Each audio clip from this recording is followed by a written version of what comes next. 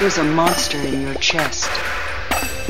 These guys hijacked your ship, and they sold your cryo cryotube to this human. And he put an alien inside of you. It's a really nasty one. And in a few hours, it's gonna burst its way through your rib cage. And you're gonna die.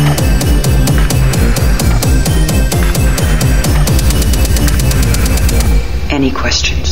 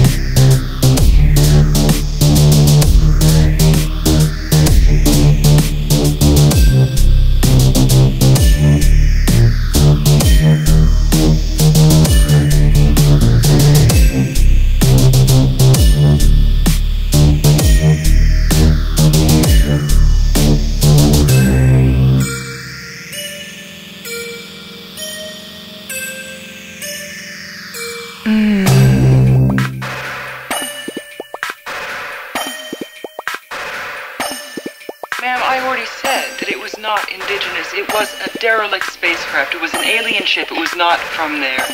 Do you get it? We homed in on its beacon. and found something never recorded once in over 300 surveyed worlds.